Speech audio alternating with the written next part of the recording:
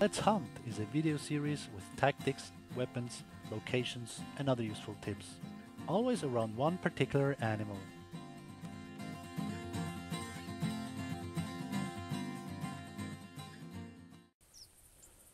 Goose hunting is done in Hirschfelden and I'm wearing the uh, fall field camouflage, all five pieces. The reason for that is within the waterfall blind it doesn't really matter what you're wearing. You're almost invisible, you can even run around. They will not see you, the geese that come. But sometimes I run around, collect uh, geese that I shot and another flock comes. Then I can just lay down or uh, be on my knees and call the geese and they will still come. I do not scare them. As far as the inventory, uh, I bring the pump action shotgun with uh, six shells a time I can shoot before I have to reload. I'm using the flagler and I'm using the short range caller of course once they break to bring them closer. Now why do I use the flagler? I had uh, somehow more success with this and but the, the most important reason is you can just click the mouse and the wild boar will call. No, of course not. You can click the mouse and just keep it clicked and that's all you need to do. With the long range caller you need to click, click, click in a, in a rhythm. It's a bit annoying. With this one you just keep the mouse pressed. It's so much easier. Always remember to load your gun.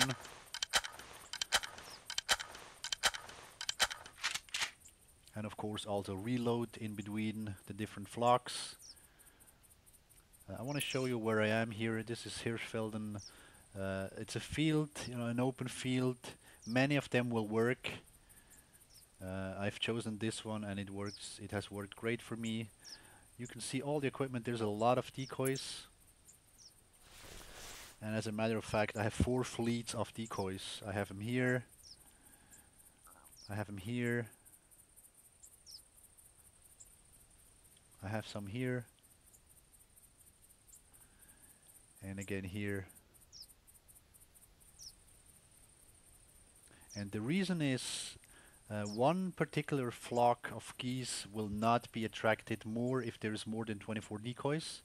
So you're not gaining anything on one particular flock but you can actually attract more different flocks. Uh, they come they come flying either right over you or sometimes a little bit further out. And I've just noticed the more uh, setups you have spread over the area, the, the better the chances that you can uh, lure down more flocks. It takes a while sometimes for the first flocks to come in. And let's look at the clock here.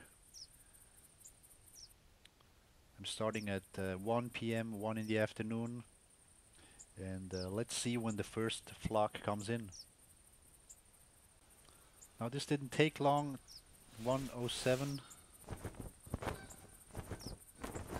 and I will start waving at them. Three birds come in.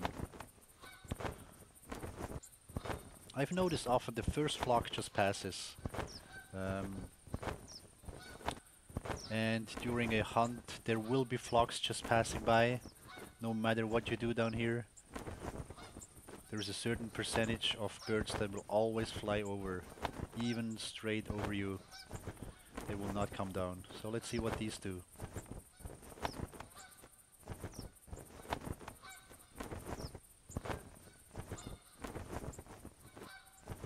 Just keep waving. Sometimes they're very far out and they will still decide to come back.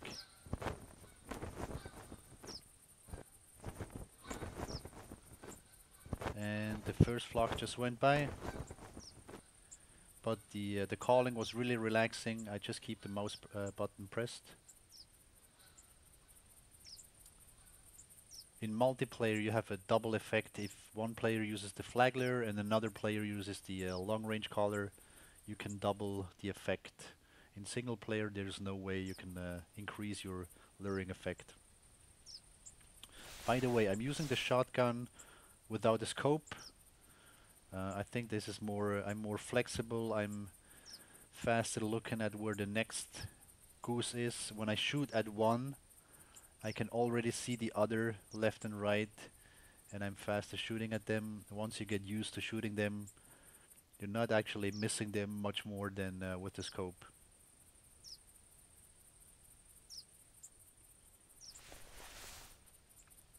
And we will check when the next flock is coming. There's a lot of pheasants here.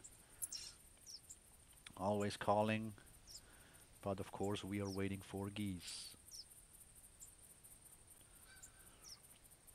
13 minutes after 1.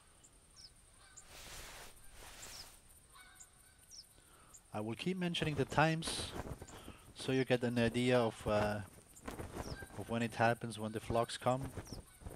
This is quite a big one, flying in a nice V shape. And of course I'm hoping for a few to break off and glide down.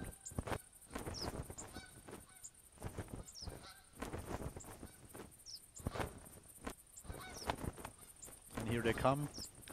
Now using the, sh the short range caller is a bit of an art. Actually now is a good point in time. If you call too late they will split in two groups.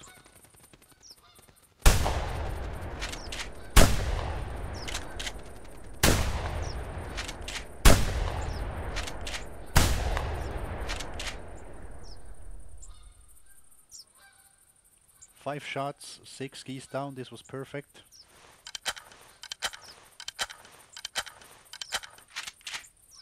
But you will also have uh, frustrating moments. Sometimes you have a lot of birds coming down and you hit one or two or even none. This can happen, so don't get discouraged. Just uh, keep luring them and uh, we will wait for the next flock. 1321. This one took a bit longer.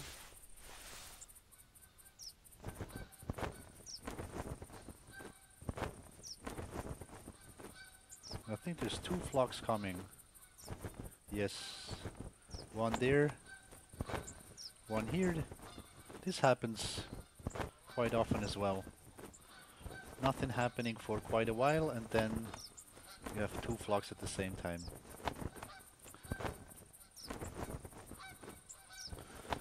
So it's up to you to decide if uh, one group breaks. If you want to keep waving the flagler and see if you can get even more from the other group or if you want to shoot at the first group.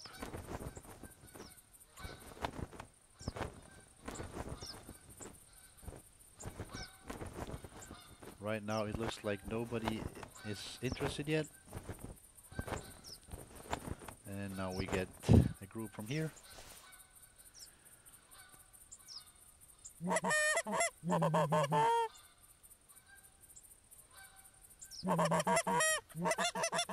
Need to bring them all the way over here. But once they come closer, get ready with the shotgun.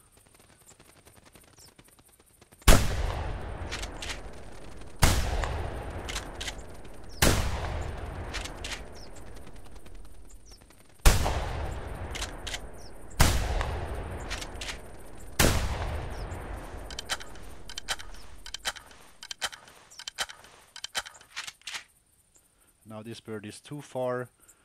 Do not waste am any ammunition on birds that are far out. You have 90 shells unless you buy more in the in the store. Just uh, uh, shoot at the ones that are close and let them go. They will come back later. They will get mixed into another group, into another flock. You will see this when you shoot birds sometimes, that the time in between your shots were very long. So this was also very successful and hopefully the next time I want to demonstrate what happens when uh, a group of ducks, uh, ducks, geese come down and you you call too too late. Because when uh, when there's a group coming down they will always split in two groups and take two turns one going left one going right and then it becomes a lot more difficult to shoot them. So ideally when you call them, it's a little bit of an art with the short range caller. Practice it a little bit, but if you can steer them to you as one group, this is so much more easy to shoot them. So again, looking at the clock, Uh, 14 minutes into the game, we've we've uh, been able to do some shooting already, and we will wait for another flock. 136. Now there's a flock far out there.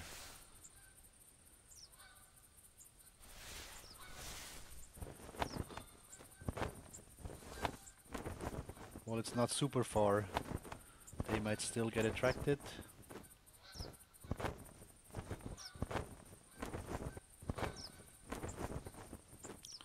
And as you can see, because of the many, many decoy sets, they're actually coming. Six is a very common number. And now if I don't call, if I just let them glide down, what what's going to happen is some will go left, some will go right. And when you lure them now, it's actually too late. This is so much harder.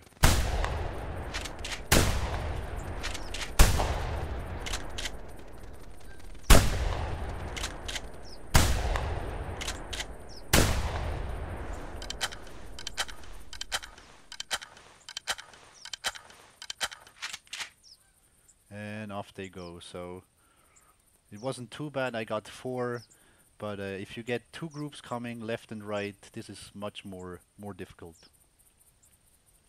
And by the way, if you shoot at the birds, um, I was not saying that in the right moment, but always lead the shot, always shoot a little bit ahead of the bird. No matter how close or how far they are, it's always pretty much the same. Um, so we'll wait for another flock for the last time, and I can uh, show you that as well, how to lead the shot. Uh, so let's wait. Ooh, they're here already. Just turned the uh, camera off and I have to turn it back on. Especially at the beginning of a hunt, there's a lot of big groups. Later in the game, about one hour, one and a half hours real time, you get a lot of smaller groups as well.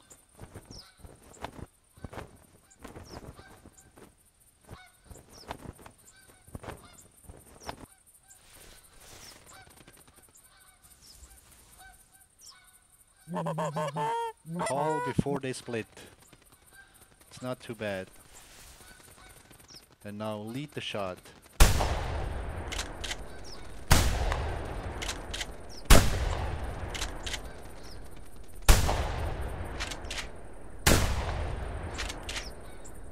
Okay, you live. And with this, let's close this little goose hunting session. I hope you enjoyed it. Lots of geese down. The time 13.42, that's 21 real minutes. And this is how I hunt geese. I hope you enjoyed, never got annoyed. Thank you very much. Stay in touch.